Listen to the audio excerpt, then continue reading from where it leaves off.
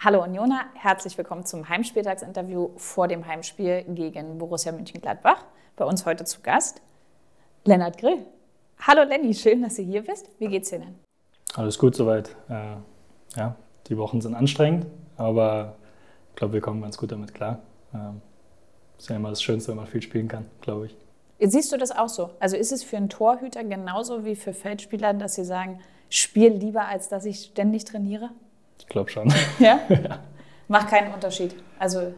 Nee, also ich finde, dadurch, dass man viel spielt, dann kann man auch so Ergebnisse wie jetzt, wie jetzt am Sonntag relativ schnell wieder wettmachen oder vergessen machen. Und dafür sind viele Spiele immer gut. Du hast es gerade mal kurz angesprochen. Wir haben gerade eben schon, bevor die Kamera anging, darüber gesprochen. Sonntag sollte irgendwie nicht sein, oder? Ja, ähm, ich glaube, dass Bochum es einfach echt gut gemacht hat auch. Ähm, ja, aber im Großen und Ganzen haben wir, glaube ich, einfach das, was uns jetzt eigentlich die ganze Saison so ausgemacht hat, nicht so auf den Platz bekommen. Ähm, aber das passiert, äh, so Spiele gibt es und ich glaube, gerade mit der Belastung gerade ist das auch normal, dass man vielleicht einfach mal ein bisschen so einen Durchhänger hat oder es halt nicht so funktioniert, wie es funktionieren soll. Aber ich glaube, äh, können alle gut mit umgehen und äh, ja, geht ja weiter schnell. Genau, können alle gut mit umgehen. Einer, der war so am, am Ende des Spiels mit Abpfiff so richtig bedrückt. Der war irgendwie, saß der da und naja, der wusste auch nicht so richtig, was mit sich anzufangen. Ich habe dann beobachtet, wie Freddy direkt vom Tor zu ihm gelaufen ist, ihm nochmal auf die Schulter geklopft hat. Wie fängt man jetzt Milo in so einer Situation als Mannschaft auf? Ja, ich glaube, für Milo war es ein Auf und Ab in dem Spiel. Äh, gegen Ex-Club dann früh reingekommen für Yannick. Äh, dann den Elfer verschossen, am Ende ja noch sein Tor gemacht. Äh, ich glaube, da war viel, viel dabei, wo er vielleicht auch ein bisschen beweisen wollte, ey, ich bin gut und wollte es allen nochmal zeigen. Ich meine, hat er ja mit seinem Tor am Ende auch gemacht, aber ich glaube, das, das macht die Truppe auch aus, dass ihm das jetzt keiner böse nimmt, dass er den Elfer verschossen, verschossen hat, weil das passiert. Äh, und ich glaube, das, das merkt man aber auch, dass, dass die Mannschaft dann direkt hinter ihm steht und sagt, ey, weiter geht's, egal. Ich habe mich in der Situation gefragt, Milo hat sich direkt den Ball genommen. Jetzt habe ich überlegt, okay, aus seiner Sicht kann ich das nachvollziehen. Er möchte das jetzt auch ein Stück weit beweisen, obwohl es in meinen Augen gar nicht nötig hat, hier irgendjemandem etwas zu beweisen. Aus Torhütersicht habe ich mich gefragt, ist es einfacher, ein, also einen Elfmeterschützen vor sich zu haben, mit dem man viele Jahre oder viele Monate zusammen trainiert hat? Ich glaube ehrlicherweise ja. Ähm, wenn man so ein bisschen klar durchs Training immer weiß, okay, das ist die Ecke oder die Seite, wo er am liebsten hinschießt oder am besten hinschießt. Äh, und dann ist es halt ein schönes Mindgame. Okay, schießt er jetzt dahin, weil er weiß, ich schieße dahin oder andersrum. Ja, ich glaube, Milo schießt normalerweise woanders hin, also äh, hat er auch gemeint. Äh, aber ja, Riemann kennt ihn und äh, ja, hat's gerochen. Aber darum soll es jetzt nicht mehr gehen. Spiel abgehakt, weiteres Spiel steht vor der Brust und zwar Borussia Mönchengladbach. Ähm, bevor wir aber so ein bisschen drumherum über alles sprechen, würde ich erstmal mit fünf kurzen Fragen zum Einstieg mal anfangen. Und zwar, hast du noch ein verborgenes Talent neben Fußball? Nee, ich glaube nicht. Kannst du singen? Nee. Überhaupt nicht. ich habe schon meine Kostprobe bekommen. Äh. Ähm, was war denn, bleiben wir mal beim Gesang, ähm, was war denn dein erstes Konzert, was du besucht hast? Boah. Kannst du dich daran erinnern? Keine Ahnung. Und was war das letzte? Vielleicht kannst du dich daran erinnern. Ist auch schon ein bisschen her. Was war das letzte? Okay, keine Ahnung. Ist schon Bist du überhaupt so ein Konzertgänger? Nee, selten, deshalb okay. eher so Sportveranstaltungen. Was war denn die letzte Sportveranstaltung außer Fußball, die du besucht hast? Letztens Eisbären, Eishockey. Und? Das war das gegen San Jose verloren. okay. Aber die Stimmung war gut. Ähm, wenn es im Stadion Einlaufmusik geben würde, was wäre denn der Song, der bei dir laufen würde, wenn du reinläufst? Wenn wir, zum, wenn wir jeder so einzeln rauslaufen mhm. meinst du? Boah. Ich glaube, irgendwas, irgendein gute Laune-Lied. Also welches genau ist schwierig, aber irgendein gute Laune-Lied. Ich glaube, das also, da ist die Stimmung im ganzen Stadion dann ganz gut. Also nicht so eins, was so pusht, sondern eins, nee. wo alle so ein bisschen mitsingen können. Nee, so was, was pusht, das kann man vielleicht am Ende machen, wenn alle dann draußen sind. Aber so für jeden so ein bisschen, wo man die Leute mitnimmt vielleicht. Okay. Ähm, was war das Erste, woran du heute Morgen gedacht hast? So, ob ich pünktlich aufgestanden bin und ob ich die Belastungs-App ausgefüllt habe. Äh, interessantes Thema, würde ich nachher gerne mal drauf zurückkommen. Ähm, wenn du in einem Disney-Film leben würdest, welcher wäre das? König der Löwen. Und wer wärst du? Ich glaube, Simba ist cool. Okay, ich dachte, jetzt kommt hier so Pumba nee, oder so. Nee, Simba ist, Simba ist cool. Danny, das waren schon die fünf kurzen Fragen. Bevor wir ein bisschen in dein Privatleben eintauchen, du musst hier keine, keine Leichen aus dem Keller holen, aber würde ich gerne mal ein bisschen auf deine Karriere bisher zurückschauen. So alt bist du noch nicht, hast aber trotzdem schon einiges äh, erlebt im Fußball. Angefangen hast du in deiner Heimat Ida Oberstein. Hast du direkt im Tor gestanden oder bist du so von vorne nach hinten durchgerückt? Ja, mehr oder weniger. ähm, ich glaube, das ist irgendwie charakteristisch für viele Torhüter mittlerweile, dass die früher im im Sturm gespielt haben. Ist auch gar nicht so verkehrt, weil man ein bisschen auch weiß, was der, was der Stürmer denkt in dem Moment als Torhüter. Äh, aber ins Tor gegangen bin ich, glaube ich, mit zwölf erst. Torwartspiel hat sich ja auch ein bisschen verändert über die Jahre hinweg. Also mittlerweile spricht man ja, ich glaube, im Fachjargon nicht mehr von Torhütern, sondern von Torspielern. Ähm, ist es was, was dir zugute kommt, dass du sagst, es ist auch was, was mir liegt? Ja, also ich glaube, das hilft schon, wenn man ja, früher, klar, das ist noch nicht das höchste Niveau, äh, aber da es zumindest mal im Feld gespielt hat, weil man dann ja, ein besseres Gefühl hat, glaube ich, dafür. Und ansonsten kann man es ja im Training auch immer viel mitmachen, wenn man ja, ein paar Feldspielerübungen mitmacht. Äh, ich glaube, dass das nicht so verkehrt ist, um ja, einfach zu verstehen, okay, so ist es halt auf einer anderen Position zu stehen oder halt um generell das Fußballerische halt einigermaßen mitzukriegen. Ist man eigentlich aufgeregt, wenn hintenrum gespielt wird? Über den Torhüter? Es kommt darauf an, wie das Spiel läuft. Äh, wenn du jetzt einen Gegner hast, der dich nur unter Druck setzt äh, und der, der Platz jetzt vielleicht nicht optimal ist und der Ball dann die ganze Zeit nur huppelt, dann, dann ist es schon unangenehm. Aber ich, also für mich gesprochen ist es jetzt, glaube ich, nicht schlimm, wenn sie, also ich mag es, wenn sie über mich spielen, weil dann habe ich wenigstens was mit dem Spiel zu tun. Ich musste nur so ein bisschen an Dortmund denken, mhm. deswegen, weil das ist so eine Situation, da denke ich dann immer, oh, als Torhüter ist es auch wirklich, also dafür konnte er ja, ja. einfach mal schlichtweg nichts. Also er rutscht einfach weg, kannst du nichts für, haust dir dann irgendwie auch noch dein Standbein ja, dabei das weg, dass du da keinen Stand. Also. Ja, aber da denke ich dann immer so, oh, das restliche Spiel, willst du dann überhaupt noch angespielt werden? Ja, ich glaube, du bist dann die ersten zwei, drei Aktionen danach nur darauf bedacht, okay, auf Sicherheit, bloß nicht nochmal wegrutschen oder irgendwie einen Fehlpass spielen, aber irgendwann das war früh, das glaube ich war achte Minute. So, musste abhaken, weitermachen, hilft ja nichts. Ich habe mich mal mit einem Torhüter unterhalten, der hat mir erzählt, dass er in, einem, in einer Mannschaft immer einen Spieler hat, den spielt er immer an, vor allem wenn es darum geht, in einer Drucksituation, weil er weiß, der rettet ihn immer den Arsch. Ist, hast du sowas auch? Jetzt nicht unbedingt speziell einen Spieler, äh, aber klar, wir haben ja unsere ich sag mal, Abläufe, äh, wo klar ist, okay, also entweder ich kriege den Ball zurück und es ist möglich, äh, über, über die Sechs zum Beispiel zu spielen, oder wenn es halt nicht möglich ist, haben wir zum Glück, zum Glück vorne äh, ein paar Ochsen drin, die, die, die langen Bälle auch verarbeiten können. Die sogenannten Zielspieler. Ähm, oder so. Kommen wir auf deine Karriere zurück. Über Mainz ging es dann nach Lautern da hast du dein Profidebüt feiern können und hast da, ich habe nachgeguckt, also es war in der dritten Liga Profidebüt und hast dann gleich mal die 18 Spiele gestanden. Davon nur sechs verloren. Gute Quote, sechsmal zu null gehalten. Auch gute Quote. Auch keine schlechte Quote. Ähm, gibt es da vielleicht noch ein Spiel, woran du dich besonders erinnerst? Oder ist das, war das alles viel zu aufregend? Ich glaube, das erste überhaupt äh, ist auf jeden Fall was Besonderes. Ähm, weil ich halt schon lange darauf hingearbeitet habe in Lautern. Ähm, und dann war es das erste Spiel nach der Winterpause. Ähm, Heimspiel, ich glaube 2-0 gewonnen. Also da hat alles gepasst. War jetzt nicht unbedingt viel zu tun. Äh, aber ich glaube, so das Erste ist schon das, das Besonderste, was du mitnimmst auf jeden Fall. Kannst du, kann man die Nacht danach überhaupt schlafen? Weil ich meine, man hat ja eh schon nach so einem Spiel, ehe der Adrenalinspiegel dann mal wieder runtergeht mhm. und dann ist man ja irgendwie noch mehr voller Adrenalin. Ja, ich glaube, in der Nacht war es schwierig. Ja, kann ich mir gut vorstellen. Ähm, darauf folgende Saison Stammtorwart bei Lautern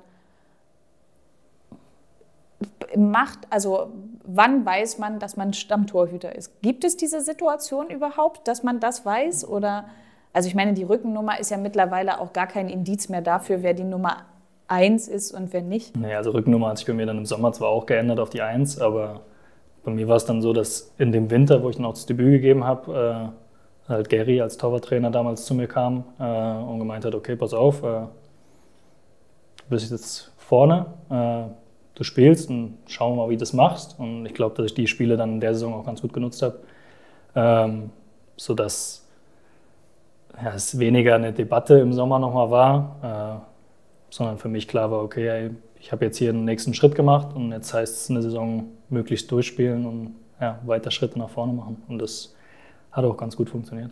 Ich wollte gerade sagen, hat gut funktioniert. Ein Spiel musstest du trotzdem mal aussetzen. Eher ungewöhnlich für einen Torhüter. Fünfte gelbe Karte. Ja. Das kommt schon selten vor, Das oder? kommt selten vor. Ich dachte mir auch, das kann eigentlich nicht wahr sein. Äh, ich hatte, glaube ich, relativ schnell vier. Äh, ich glaube, ein, zwei Mal für Meckern, dann mal Elfer verursacht und dann Zeitspiel. Und dann kommst du schnell auf fünf.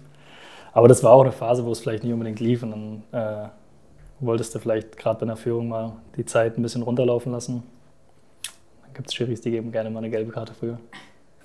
Ähm, dann kam der Wechsel zu Leverkusen schon. 2021 hast du dein Debüt dann in der Bundesliga gegeben und hast dann, glaube ich, auch noch drei weitere Spiele im Tor gestanden. Ist schon ein großer Unterschied von der dritten Liga-Debüt und dann ohne, ohne mal in der zweiten Liga vielleicht so Step by Step, sondern gleich mal so, Fußball-Oberhaus, da bin ich. Ja, äh, also ich muss sagen, der Schritt dritte Liga, erste Liga ist schon gewaltig. Äh, das habe ich auch in, in, den Anfangsmonaten in Leverkusen gemerkt, dass, dass das Zeit braucht, um sich an das erstmal zu gewöhnen. Also ich wusste, okay, ich muss wirklich arbeiten dafür, um, um dran zu sein oder dran zu kommen, weil ja, das ist erstmal, du kommst von der dritten Liga und auf einmal sitzt du in der Kabine mit, mit Bundesligaspielern, die zig, hundert Spiele schon teilweise auf dem Buckel haben. Äh, ist auf jeden Fall was anderes. Ähm, ja, aber ich glaube auch, dass, dass die vier Spiele da mir auf jeden Fall gut getan haben und äh, dass die auch nicht, nicht so verkehrt waren. Ähm, ja, aber im Endeffekt äh, war es mir auch vorher bewusst, dass, dass der Schritt ein großer ist. Ähm, und dass es nicht unbedingt leicht wird, äh, jetzt schnell zu spielen. Ähm, dafür war dann jedes Spiel, was ich machen durfte, umso besser. Ähm, du hast jetzt gesagt, es war schon ein großer, eine große Umstellung in der ersten Liga, dann auch erstmal einerseits mit den Profis zu trainieren, ist sicherlich auch noch was anderes in Leverkusen. Also nicht despektierlich gegenüber Vereinen in der dritten Liga, auf gar keinen Fall. Auch professionelle Arbeit. Aber du hast gesagt, da sind schon Unterschiede. Was war denn für dich so das, das größte Merkmal, was du eigentlich ändern musstest an deiner Routine? Gut, das ist alleine schon das ganze Tempo, äh, was in der ersten Liga dann gefahren wird. Also du hast halt nahezu gar keine Zeit für, für einen zweiten Kontakt oder, oder wenn, dann muss er perfekt und schnell sein, weil sonst ist gefühlt jeder Ball weg. Äh, ja, und dann einfach diese ganzen technischen Komponenten, äh, Komponenten dass man das einfach ja, kombiniert kriegt. Und ich glaube, das braucht ein bisschen Zeit, wenn du es vorher ja, auf, auf Drittliganiveau, sage ich mal, hattest äh, und dann auf, auf Top-Niveau in der Bundesliga. Braucht ein bisschen Zeit. Du wurdest dann ausgeliehen nach zum SK Brann nach Norwegen. Ich habe mir vorhin mal die Kaderliste zu dem Zeitpunkt angeguckt. Du warst schon ein Außenseiter da. Ich glaube, ich war einer der wenigen Nicht-Norweger, ja. Ich, ich, ich habe nachgeguckt, nur Dänen und Norweger, manche mit einer doppelten Staatsbürgerschaft, ähm, aber ansonsten nur Dänen und Norweger. Du und ich glaube, ein, ein, Spieler ein war noch aus Senegal. Ein Finn und, und ein, ein Finn. Wie? Haben die Leute mit dir gesprochen oder musstest du einfach immer nur kurz darauf hinweisen, dass du ja der Einzige bist, der sie nicht versteht? Ja, das Gute ist, die Fußballsprache ist einfach. So, äh, und Norwegisch ist gerade, was die Fußballsprache angeht, ist das wie so ein Mix aus Englisch, Holländisch, Deutsch. Also du verstehst es relativ schnell, so dass ich jetzt, wenn Teamansprachen waren und er es auf Norwegisch gemacht hat, war es kein Thema, weil ich es irgendwann verstanden habe. Ach, echt? Ja, das ging relativ fix. Also ich habe nicht alles wortwörtlich verstanden, aber den Kontext verstanden, konnte es mir dann rausleiten. Ähm, und ansonsten ist das Gute, dass die Skandinavier alle sehr gut Englisch können. Und dann ging's.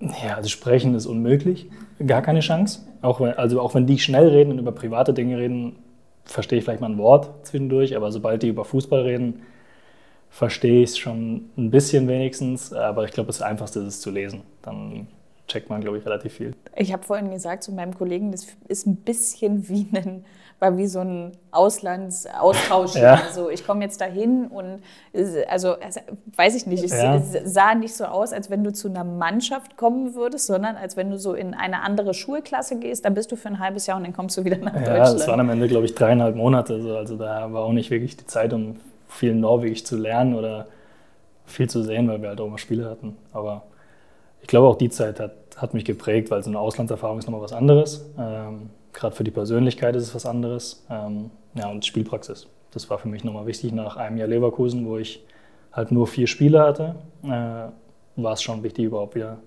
ein bisschen regelmäßiger zu spielen. Dann, Anfang der Saison, Laie zu Union. Als es dann fix war, also man hat ja sicherlich auch schon Gedanken, wenn das so zu den Gesprächen kommt und so, als es dann fix war, was war dann so dein, von der Gefühlslage her, so deine Gedanken, jetzt geht es nach Berlin? Gut, ich glaube, was Union die letzten Jahre schon gemacht hat, ähm, ist ein bisschen einzigartig. Äh, ich glaube, das, das äh, spricht viel für sich selber. Ähm, um was man auch gerade von, von Rob an viel gehört hat in Leverkusen, weil ich mich auch mit ihm ein bisschen unterhalten habe. Auch mal gesagt, also die Mannschaft in der Kabine ist überragend und ich glaube, das hat einen halben Tag gedauert, dann konnte man das schon bestätigen. Und die haben es einem einfach auch leicht gemacht, in der, äh, in der Mannschaft anzukommen. Und sobald du in der Mannschaft angekommen bist, fühlst du dich auch in der Stadt wohl, fühlst dich im Verein wohl. Und das machen die Jungs dann wirklich einfach. Klar, wir waren zusammen im Hotel mit ein paar am Anfang, äh, als wir auf Wohnungssuche waren noch. Aber ja, wie gesagt, die haben es einem leicht gemacht. Ähm, ich habe jetzt letztens den Artikel in der Sportbild gelesen. Ich weiß nicht, ob du den auch gelesen hast. Da ging es ein bisschen darum, was ist, was ist eigentlich das Geheimnis vom 1. FC Union Berlin.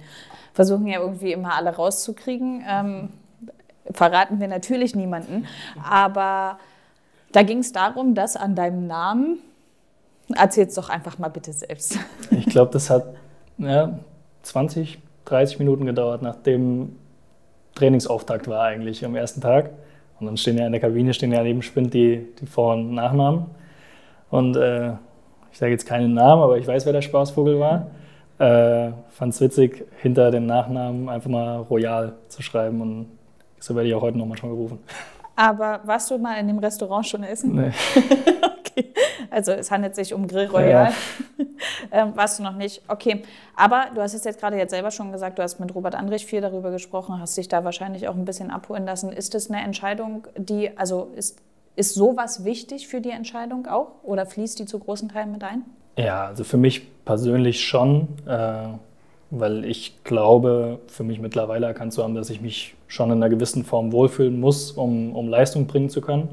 Und wenn das nicht so der Fall ist oder ich das Gefühl habe, hm, es passt alles nicht so, dann, dann funktioniert es bei mir wahrscheinlich auch nicht, nicht so optimal. Äh, aber wie gesagt, das, was, was Rob erzählt hat und auch die Gespräche hier mit, äh, mit dem Trainer oder mit Micha, äh, das war alles top und äh, da waren dann wenig Zweifel mehr da und ja, hat sich ausgezahlt auf jeden Fall. Ich kann mich noch daran erinnern, als du das erste Mal hier, ich weiß nicht, ob es das erste Mal war, aber es war eines der, deiner ersten Male, da war auch noch gar nicht fix, ob du zu uns kommst. Und das war auch, glaube ich, zum Ende der letzten Saison sogar. Da saß ich beim Trainer im Büro und dann kam auf einmal jemand rein, sich äh, nicht war auf alle Fälle groß, hat sich nicht vorgestellt und so. Und Lennart gesagt, und ich saß da beim Trainer im Büro und dachte, ich kenne ihn irgendwoher. Kennen den irgendwoher, Lennart, Lennart, der ist groß, das muss ein Torhüter sein. Und dann, ah, jetzt weiß ich es. Und Urs, du bist rausgegangen. Ähm, und dann saß Urs neben mir, na, hast du ihn erkannt? ist ja, aber kann ich mich noch sehr gut Hat daran gedauert, erinnern. Aber ja. ja, aber ich, also mir war klar, okay, muss Torhüter sein, weil äh, viel zu groß. Ja, klar. Ähm, jetzt bist du schon ein bisschen bei uns. Du hast sicherlich auch einige Torwart-Legenden, Torwarttrainer-Legenden auch schon kennengelernt. Darauf will ich aber gar nicht mehr so viel rumreiten, weil darüber hast du sicherlich schon tausendmal erzählt. Was ich glaube auch für andere mal interessant ist, wie sieht denn so eine Trainingswoche für Torhüter eigentlich aus?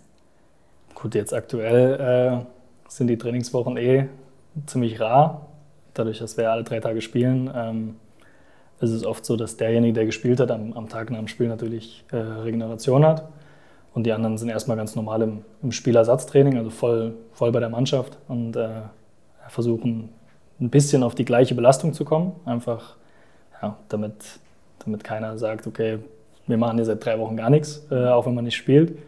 Ähm, und ja, sonst versuchen wir halt immer in der Zeit, die wir vor dem Mannschaftstraining quasi haben, bevor wir dann zu Torschüssen oder, oder Spielformen kommen, äh, ja, im Torwartteam und Micha einfach bestmöglich zu nutzen, damit wir einfach ja, alle Abläufe nochmal drin haben, dass wir eins gegen eins drin haben, dass wir Flanken drin haben, generell Abkippen, Schüsse mit Abdruck.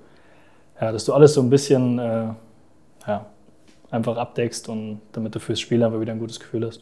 Was ist, was machst du am liebsten oder was, was heißt, was machst du am liebsten? Aber was würdest du sagen, liegt dir besonders gut? Wo ist drin ist dein Steckenpferd im Tor? Ich glaube, eins gegen eins ist ganz gut, ähm, weil ich eine große, große Spannfläche habe und äh, glaube ich ein ganz gutes Timing mittlerweile habe, äh, ja, wann, ich, wann ich draufkommen kann. Und äh, da ist auch immer im Training wenigstens schön Action dabei, weil ja, da knallt es wenigstens mal ab und zu. Ja, und zwar hat es richtig geknallt bei dir. Mhm. So, dass du danach einen Zahnarztbesuch äh, gleich Nicht, nicht nur einen. Wie geht's dir mittlerweile da? Die sind mittlerweile wieder fest. Äh, ja, ich habe ein bisschen Bekanntschaft mit, mit Yannicks Knie gemacht und ähm, das passiert aber. Und da war hier unten war einer äh, so ein bisschen nach vorne, ein bisschen lose, der musste mit einer so einer kleinen Schiene fixiert werden wieder. Da hinten war einer abgebrochen und hier oben ein paar abgesplittert. Also ich glaube, ich lag drei Stunden beim Zahnarzt erstmal. Oh Gott, ey. Ähm, spielst du jetzt mit Schiene? Oder trainierst du jetzt auch mit Schiene? Ja, also ich habe es am Anfang die ganze Zeit gemacht mit Schiene. Ähm, mittlerweile kommt es ein bisschen aufs Training an. Also wenn wir eins gegen eins machen, ziehe ich es immer noch an, weil da kann immer noch mal was passieren. Aber so beim Spielen lasse ich sie jetzt mittlerweile draußen, weil stört dann ein bisschen beim Reden. kann ich mir vorstellen. Ähm, eine Position, also sicherlich jede Position ist umkämpft. Von allen gibt es irgendwie so ein bisschen Konkurrenzdruck. Jetzt ist es aber sicherlich auf der Torwartposition noch mal komplett was anderes. Einerseits wird nicht so viel rotiert wie auf anderen Positionen. Das ist mal die eine Thematik. Die andere Thematik ist aber, diese Position ist halt nur einmal zu besetzen. So, du kannst halt, also okay, ja, weiß ich nicht. Vielleicht könnte Urs dich auch mal im Sturm einsetzen, ich weiß es nicht, aber. Ist eine Option. wäre, ähm, also ist jetzt erstmal sehr weit weg. Aber wie ist dann dieser Konkurrenzdruck in einer Mannschaft dann, also gerade speziell bei euch im Team? Und ist das spürbar oder sagst du eigentlich, wir supporten uns da mehr gegenseitig? Ich würde sagen, sowohl als auch. Ähm, auf der einen Seite natürlich supporten wir uns. Äh, jetzt in dem Fall, wenn, wenn Freddy spielt, äh, ja, steht auch da natürlich der, der Mannschaftserfolg an oberster Stelle. Und äh, ich glaube auch, dass, dass Freddy ein besseres Gefühl im Spiel hat, äh, wenn wir ihn pushen oder äh, wenn, wenn wir ihm halt einfach das Gefühl geben, ey, du machst es gut. Aber auf der anderen Seite, klar, äh, treibt ein Konkurrenzkampf. Äh, dementsprechend, wenn wir es auch gut machen, ihn natürlich auch dazu anzusagen, ey, die machen es auch gut, dann mache ich es jetzt auch gut. Und dann äh, ja, kannst du dich gegenseitig ein bisschen, bisschen hochpushen, einfach, glaube ich. Äh, aber nichtsdestotrotz finde ich, auch hier ähm, ist das Miteinander im Team einfach wichtig und, und, das ist auch überragend. Also wir verstehen uns top und äh, da, ist, da gönnt jeder dem anderen auch dasselbe. Das ist sehr schön. Ähm, zwei Spiele, zweimal zu null. Ist jetzt nicht so schlecht. Und es war jetzt auch nicht so, dass du nichts raufgekriegt hast in den zwei Spielen. Du hast relativ wenig Spielpraxis dann gehabt. Natürlich in den Testspielen und so kamst du auch immer wieder zum Einsatz. Ist jetzt auch nicht so, dass, du, dass es ein halbes Jahr her ist, als das letzte Mal im Tor stand ist. Trotzdem stelle ich mir vor, dass es schon mit weniger Spielpraxis dann schon ein bisschen aufregend auch ist. Ja, äh, das ist halt nicht so diese Routine, die du hast, wenn du alle drei Tage oder jede Woche spielst, ähm, sondern du musst halt ja, von, von jetzt auf gleich einfach funktionieren in dem Fall. Ähm, das hat bis jetzt ganz gut funktioniert. Ähm, ja, aber ich glaube, auch in den Spielen, die beiden, die ich jetzt gemacht habe, war auch viel Verdienst von, von der Abwehrreihe oder von generell von der Mannschaft äh, vor mir, weil vieles haben die mir auch einfach weggenommen, wo ich dann gar nicht eingreifen musste oder in irgendwelche komischen Situationen reinkommen musste. Ähm, klar, am Ende war es optimal, dass wenn die Situation dann kam, wo ich eingreifen musste, dass es dann auch funktioniert hat äh, und dass vielleicht auch das nötige Glück einfach dabei war. Äh, ja, aber ich glaube, im Endeffekt haben sie es auch da äh, mir den Job ein bisschen erleichtert. Nimmt man das in die nächsten Spiele auch mit rein, dass man ein bisschen beruhigter ist und sagt, okay, wenn jetzt ein neues Spiel kommt, okay, ich habe jetzt nicht regelmäßig gespielt, aber trotz alledem weiß ich, Es hat die letzten zwei Male, drei, vier, fünf Male auch wunderbar funktioniert und ich kann da jetzt Selbstbewusstsein reinstecken in die Partie auch. Ja, auch. Also ich glaube, du hast äh, klar eine, eine, gewisse Sicherheit dann dahinter, zu wissen, okay, ich kann das von 0 auf 100, äh, aber trotzdem muss ja den gleichen Fokus oder die gleiche Anspannung einfach mitkriegen. Lenny, jetzt würde ich mal ein bisschen wegkommen vom Fußball. Also mehr oder minder, so wie, wie weit wir eben halt davon weggehen können. Äh, du lebst alleine in Berlin, weil deine Freundin nämlich in Köln studiert, hast du mir erzählt. Ähm, wie lebt man sich denn alleine in dieser verdammten Weltstadt ein? Ey? Ist schwierig, weil es riesig, also ist wirklich unfassbar groß, ist mit Köln nicht mal ansatzweise zu vergleichen von der Größe. Äh, aber ich habe ja schon mal gesagt, dass wir am Anfang ja mit ein paar Jungs im Hotel zusammen waren. Äh, dadurch geht man auch mal zusammen essen und ja, dann sieht man schon mal wenigstens ein bisschen was von der Stadt. Äh, dann habe ich jetzt das Glück, dass das Andras direkt unter mir wohnt. also das heißt, mit dem kann ich auch mal, äh, mal was machen oder halt zum Eishockey oder Basketball gehen, äh, sodass man da auch ein bisschen was macht.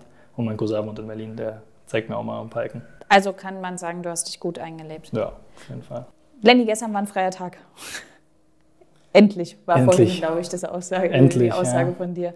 Ja, das äh, tut schon gut, wenn man mal einen Tag äh, ja, einmal den Kopf abschalten kann und ähm, ja, mehr oder weniger einfach mal die Seele ein bisschen baumeln lassen kann und jetzt nicht unbedingt immer auf Zack, okay, ich muss jetzt ins Stadion, ich muss jetzt auf den Trainingsplatz und hin und her, sondern es tut schon gut.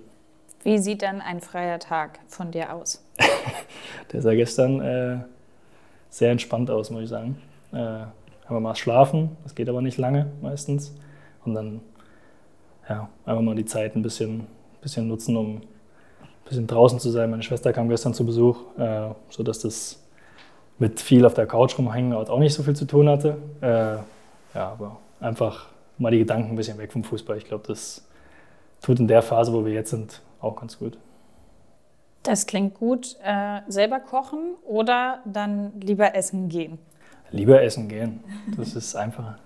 Aber weil du es auch nicht kannst, oder? Ja, ich bin jetzt kein Meisterkoch, aber ich krieg's hin. Also gibt es keine äh, gemeinsamen Kochabende mit Andrasch zusammen? Nee. Besser nicht.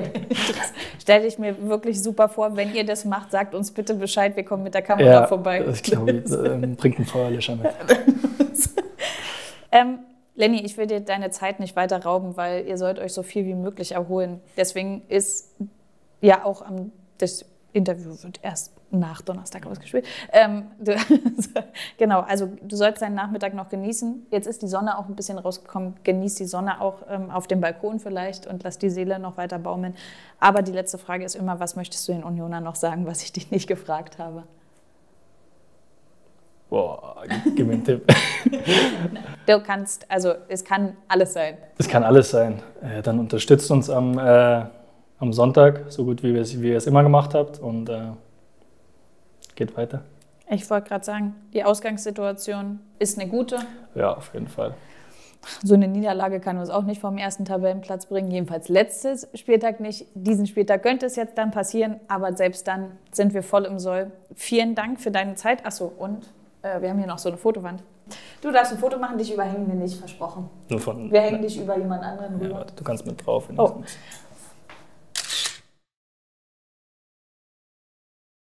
Perfekt. Top. Super, vielen Dank. Dann maximalen Erfolg am Sonntag Danke. beim Spiel gegen Borussia Mönchengladbach und vielen Dank für deine Zeit. Gerne.